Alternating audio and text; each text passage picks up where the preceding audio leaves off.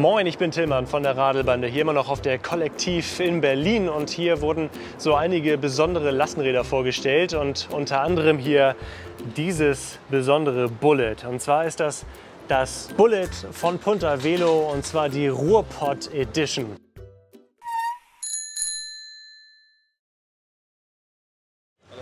Punta Velo ist einer der größten Händler und Distributoren von Bullet in Deutschland. Ähm, Julian, erzähl uns doch mal, wie das dazu gekommen ist. Ja, mein Chef hat da vor zehn Jahren mit angefangen. Er hat damals äh, einen Bullet aus Kopenhagen bezogen. Da war äh, das Thema Lastenrad noch äh, relativ äh, in den Kinderschuhen in Deutschland. Äh, es ist ja eigentlich ein sehr altes Thema, aber er hat sich halt gedacht, okay, das ist irgendwie cool, irgendwas müssen wir ändern in den Städten, es ist zu viel äh, Autoverkehr und äh, wollte das einfach mal ausprobieren. Mit viel äh, Auslacherei hat er dann das erste äh, Rad zusammengebaut. Äh, die Nachbarn äh, haben gesagt, was willst du denn damit? Und mittlerweile äh, beschäftigen wir knapp 20 Leute deutschlandweit damit, dass wir eben das Bullet ja, weiterbringen und machen halt auch für den Hersteller die Frankreich-Distribution. Und es ist einfach ein Ding, was sich halt ähm, sehr gut ähm, ja, also was einfach sehr gut die äh, Mobilitätswende irgendwie Ja. mitträgt, ohne dass es zu sehr mit dem äh, gehobenen Zeigefinger ist. Ja. Und ähm, das ist einfach schön, weil das ist ein äh, formschönes Rad, das Bullet. Es, ist, äh, es transportiert so viel, auch für Leute, die eher weniger fahrradaffin sind, Mhm. haben wir eben äh, die Möglichkeit, die erkennen diese Schönheit von diesem Rad. Ja. Und das, ist, äh, das macht das Bullet halt. Und das macht das Bullet aus seit äh, zehn Jahren. Es ist in der Formsprache ähm, relativ unverändert, aber technisch immer weiterentwickelt worden. Ja. Und ähm, ja, deswegen machen wir das Bullet und äh, das ist unsere Leidenschaft. Ne? Ja. ja, und ihr habt ja auch eine erlesene Auswahl an Bullets hier. Ähm, da, wo jetzt die Menschen sitzen, da steht nochmal ein ganz besonderes Bullet. Aber du hast mir gerade schon gesagt, ihr habt ein Rad jetzt da, wo ihr mal so alles so zeigen wollt, was geht. Genau. Und das ist dieses hier. Genau, das nennen wir ähm, von der Farbgebung her ist das die Edition Ruhrpott. Wir nennen das deswegen so, weil äh, das äh, Ruhrgebiet generell so ein graues Image hat Ja. und durch die Hochöfen, was irgendwie so durch das Rot ähm, ja, ja, so ein bisschen gezeigt wird, ja, ähm, die ja jetzt zum größten Teil erloschen sind. Wir haben die Industriewende und alles. Ähm, und jetzt steht es halt das Rot für die Hoffnung und das Grau, aus das Mauergrau quasi, was sich aus der, wo sich das Ruhrgebiet halt weiterentwickelt. Und ähm, ja, deswegen nennen wir das Edition Ruhrpott, äh, weil wir halt auch über die Herkunft der Firma äh, Punta Velo eben, äh, ja, wir lieben das Ruhrgebiet, ganz einfach. Und Ja. hier ist halt das Schöne, wir haben jetzt hier die Velution Bags, äh, S-Bags, die sind abnehmbar. Man kann die hier ganz einfach abnehmen, sind wasserdicht von Ortlieb. Ähm, die sind mit dabei. Ähm, kann man Werkzeug reintun, alles Mögliche. Ne, Die Handys werden ja immer größer, in der Tasche biegen die sich, gehen kaputt und Ja. so weiter. Ne, das ist natürlich doof. Aber man kann jetzt auch, hier fehlt jetzt leider die Sitzbank drin, zwei Kinder mitnehmen oder ein Kind mittig. Und das Schöne ist, auch komplett im Ruhrgebiet gefertigt. Ähm, die Zweikindlösung mit Kopfstütze verfügbar. Wir haben jetzt eine Persenning aus X-Back-Material, sehr hochwertig, ähm, die man hier komplett verschließen kann. Oder aber auch eine, eine, ein Canopy, was jetzt äh, zur Velo Berlin vorgestellt werden wird. Zum Beispiel, das sieht so trivial aus. Das ist eine einfache Box, viereckig, für so ein Rad. Das, das äh, darf ja nicht schwer sein. Trotzdem stecken hier drin ähm, zwölf Monate Entwicklungszeit. Ja. Wir haben hier zum Beispiel eine Tasche, die ist dazu da, weil wir bei den größeren Boxen, die wir für den äh, gewerblichen Einsatz entwickelt haben, festgestellt haben, wenn man jetzt hier das Rad auf und ab bockt, dass man sich hier an dieser Kante eben das Schienbein stößt. So, ne, weiterhin haben wir dadurch 16 Liter Stauvolumen generiert, aber auch eine ergonomische Sitzschräge. Ja. So, das sind so Sachen, die man einfach, ähm, ja, oder eine Fußmulde, die wir hier integriert haben, in den Rahmen rein. Das ist natürlich auch, ähm, ja, das macht die Sache aufwendiger. Und genauso ist es halt auch beim Canopy. Wir haben sechs oder sieben verschiedene Versionen gebaut. Es ist äh, schwieriger als gedacht, sowas äh, zu machen. Aber wir wollen halt auch was auf den Markt bringen, was dann, wo wir hinterstehen können. Und Ja. deswegen halt hier ähm, die Box erstmal zu zeigen und dann im weiteren Verlauf des Messejahres dann hoffentlich, toi toi toi, die, Ja. das Canopy für diese Box. Was ist noch der, der Rest von der Ausstattung der Ruhrpott Edition? Hier haben wir jetzt, äh, wir haben zwei Stück gemacht, die Nummer 16 und 17. Also man sieht, wir haben schon einige Editionen Ruhrpott gebaut. Ja. Hier haben wir jetzt XT äh, 4 Kolben Bremsanlage mit ein paar roten Akzenten dran. Wir haben eine 1x12 Kettenschaltung mit vorne 36 Zähnen und hinten 1051. Also wir haben auch eine sehr gute Untersetzung. Wir haben äh, leicht laufende Schwalbe Marathon Supreme Bereifung und Hope Narben. Also ist alles dafür ausgelegt, dass man richtig schön fahren kann. Das Ganze ist solide mit 36 Speichen aufgebaut, vorne und hinten. Also das kann man auch gut belasten und es sieht schick dabei aus. Ja, definitiv. Was mich, was mich besonders äh, erfreut, das sind einfach diese, diese hübschen Narben hier vorne.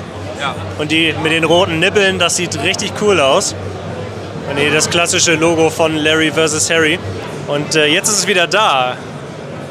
Weil das ist auch nochmal eine ganz spezielle Geschichte hier. Genau. Das ist äh, im Prinzip eine Machbarkeitsstudie aus dem letzten Jahr. Wir wollten hier feststellen, kann man einen Rahmen komplett folieren. Wir mussten feststellen, es geht, aber es geht nicht in einer, in einer Folie durchgängig, sondern wir haben jetzt hier einfach ein, ganz viele einzelne Punkte draufgeklebt. Das ist eine UV-beständige Folie, die man auch im Autobereich verwendet. Und ähm, die Farben sind halt hier äh, aus dem Logo entnommen von uns. Genau. Und ähm, wir haben das gemacht für das Zweier Lobbit, das ist hier zu sehen. Das ist das Buch quasi dazu. Das ist das älteste Lastenradrennen der Welt und wir wollten äh, mit dem Punta Velo äh, Racing Team wollten wir im letzten Jahr äh, da auch äh, mitmachen und sind alle gemeinsam da hoch, das komplette Team, ungefähr 14 Leute. Ja. Und ähm, ja, es war, wir sind in der Teamwertung sind wir Zweiter geworden nach Larry vs. Harry äh, Racing Team. Also Aber das ist ja auch ein Konkurrent, Das- dem gönnt genau. man dann auch den Sieg genau, so ein bisschen. Genau, genau. Also das ist dann äh, vollkommen in Ordnung. Dann mit dem zweiten Platz können wir in dem Fall sehr, sehr gut leben. Ja. Genau. Und hier ist halt schön, äh, gerade äh, die Komponenten hierbei sind auch hochwertig. Wir haben ja auch Hope-Narben. Wir haben eine XT4-Kolben-Bremsanlage, wir haben eine Hope-Kurbel. Ähm, und es fährt sich einfach wahnsinnig gut und es ist halt schön auffällig und gerade Kinder finden das halt großartig. Ne? Ja, das kann ich mir sehr gut vorstellen. Ja, und dann natürlich auch die, die Original ähm, Special Editions von äh, Larry vs. Harry selber. Hier das Love Ride. Hier nochmal eine andere Robot Edition. Die Nummer 17, genau. Hier leicht anders mit den BBX Side Panel, original vom Hersteller quasi. Ähm, ansonsten in den, in den wesentlichen Details äh, der Nummer 16 sehr ähnlich, genau.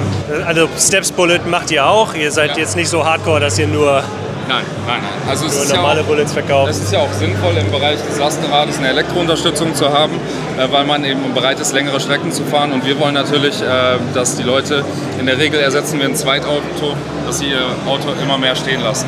Ja. Und das stellen wir halt fest, die Bereitschaft ist halt höher, auch bei schlechtem Wetter zu fahren oder zum Beispiel, wenn man an, an dem Tag einen etwas weiteren Weg hat, dann eben mit Elektrounterstützung diesen auch zu fahren. Ja, definitiv. Wir gucken uns das mal genauer an, denn dieses Fahrrad hat so einige besondere Details und Features. Unter anderem und als allererster Punkt hier wäre zum Beispiel die Shimano Diore XT 12-fach Kettenschaltung zu nennen. Also wir haben hier vorne ein relativ kleines Ritzel mit 35 Zähnen und hinten mit einer Kassette mit bis zu 52 Zähnen und 12-fach, ihr könnt es hier sehen, also viele, viele Ritzel um eben immer im richtigen Gang zu sein, den man gerade braucht. Dann haben wir hier das XT12-fach Schaltwerk hier in der mechanischen Version, aber auch mit einem Kupplungsmechanismus, damit die Kette also immer sehr gut gespannt ist. Und wenn man das löst, dann kann man auch das Hinterrad trotzdem einfach rausnehmen. Auch die Bremsen sind die Shimano Diore XT Vierkolbenbremsen, also insgesamt sehr edle Materialien. Und dann haben wir hier farblich passend zum Schema die Hope-Narben hinten und auch vorne. Und die Laufräder auch mit schön schwarzen Felgen, diesen roten Nippeln ausgestattet, aber trotzdem halt so stabil mit jeweils 36 Speichen, sodass das Rad trotzdem die Last transportieren soll, für die es auch ähm, entwickelt wurde. Dann hier Bullet typisch, diesen Konnektor hier zu der Vordergabel schön mit einer Manschette gesichert, gegen Dreck und äh, Verschleiß geschützt. Und wir können uns mal den Lenkwinkel angucken. Ihr kennt schon mein Video zum Bullet wahrscheinlich. Wenn nicht, dann verlinke ich euch das hier oben oder da irgendwo oben in dem Video. Also wir haben hier einen wahnsinnigen Lenkwinkel nach rechts und gucken wir mal nach links. Hier ist er Bullet typisch und dänische Lassner typisch. Nach links kleiner als nach rechts. Aber wenn man es weiß, dann kann man natürlich trotzdem das Ganze so einfach rangieren wie möglich. Dann hier mit dem Satori Easy Up Speedlifter ausgestattet. Hier die schönen Ergon-Griffe, die ganze Peripherie, der Bremshebel, die, der Schalthebel. Wir haben ja vorne eine Einfach, ein Einfachkettenblatt, deswegen haben wir nur einen Schalthebel auf der rechten Seite. Dann hier die Sattelstütze mit der Beleuchtung, mit der integrierten Beleuchtung. Das ist natürlich ein cooles Feature, sieht sehr gut aus, ist auch STVZO-konform. Und dann den Brooks C15 Sattel. Und man merkt hier gleich vom gesamten Aufbau, dass das ein Rad ist für eine schnelle Runde mit dem Cargo-Bike. Damit kann man richtig schnell fahren und das werden wir auch gleich mal gucken. Besonders an diesem Rad ist aber nicht nur die Farbgebung und die Ausstattung, sondern auch diese Box, die wir hier vorne sehen. Und wir haben hier oben so komplett wasserdichtes Material. Und hier hinten wird das so um das Steuerrohr verschlossen. Wir machen das mal auf, können dann hier diese Schlaufen ebenfalls öffnen und müssen das einmal auf beiden Seiten machen. Punta Velo ist einer der größten Distributoren in Deutschland für Bullet-Fahrräder und haben damit dementsprechend auch einen gewissen Impact.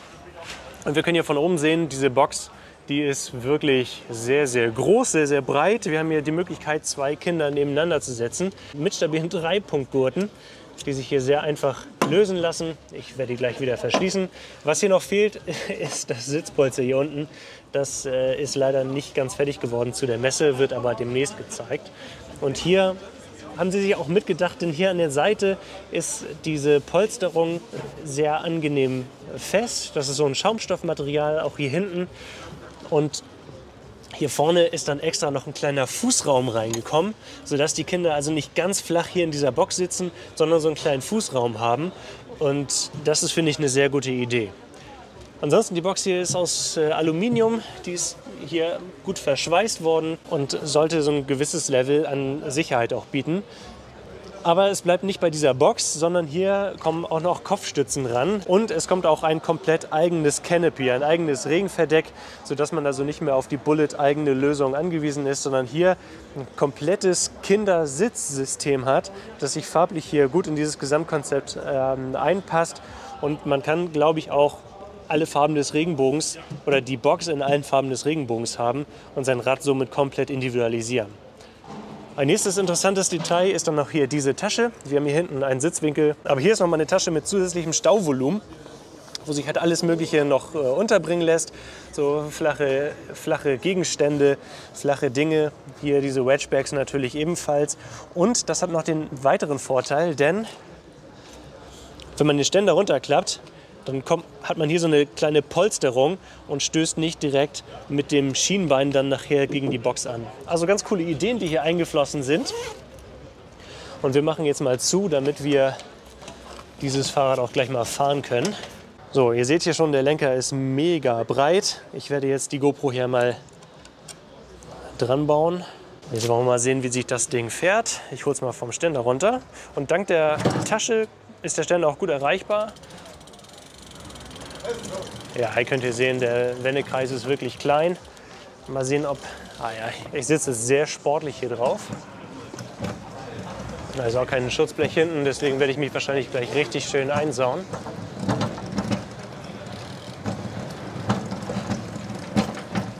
Ja, die Box hat so ein paar Geräusche, die sie macht. Die klappert ein bisschen.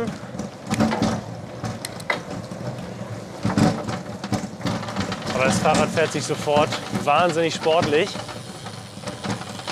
Aber dafür, dass Punta Velo hier sich ein eigenes Konzept überlegt hat als Händler, als Distributor, da ist viel Know-how reingeflossen. Sitzt jetzt hier wie auf einem wie auf einem klassischen Mountainbike, sehr weit nach vorne gestreckt, sehr weit nach vorne gebeugt. Das ist definitiv eine Sitzposition, die man mögen muss. Aber das Rad reagiert sofort auf Lenkbefehle.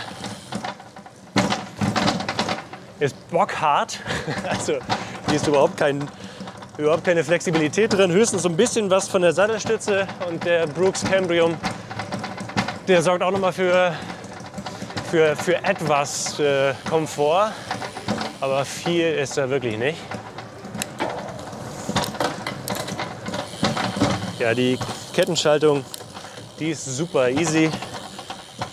Ich gehe mal in den allerkleinsten Gang. Und da trete ich schon beinahe albern schnell.